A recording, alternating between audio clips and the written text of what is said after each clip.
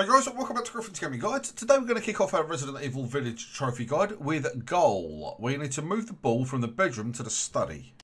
Now, in order to get this one done, you need to first put Rose to bed and then look down by your feet where you're going to find a little yellow ball, which you need to simply move into the room on your left without going back onto the landing where you're also going to find a laptop in order to be able to unlock your trophy. Now, it's a very simple one to get, but it is quite missable as well.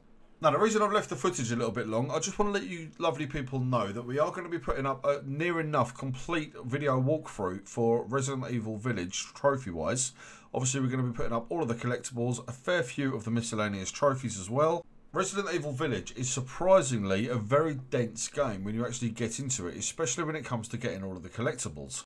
So please bear with me just a little while. I'll get it all done. It's been crazy here outside of YouTube as well as on it and the website as well. It's just been a mental time lately. I really appreciate your patience. We'll have it all uploaded as soon as we can.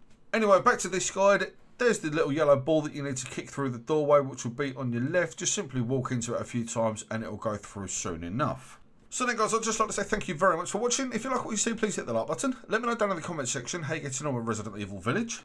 Please be sure you subscribe to Griffin's Gaming Guides. After you subscribe, please hit the notification bell so you don't miss out on any of our future Resident Evil Village content. I'll see you on the next one. Take care.